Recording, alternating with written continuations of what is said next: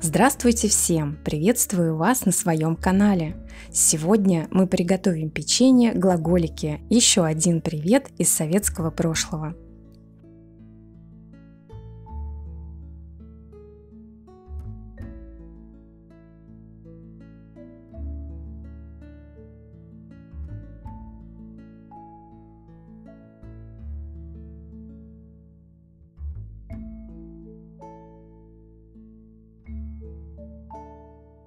Взбиваем размягченное сливочное масло с сахаром до пышности.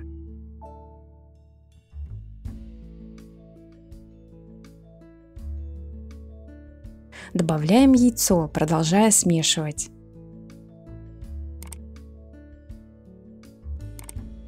Вливаем молоко и лимонный сок.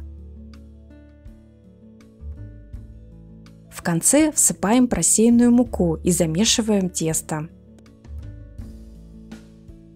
Если тесто очень густое, можно добавить немного молока. Перекладываем тесто в кондитерский мешок и отсаживаем печенье в виде прописной буквы «Г».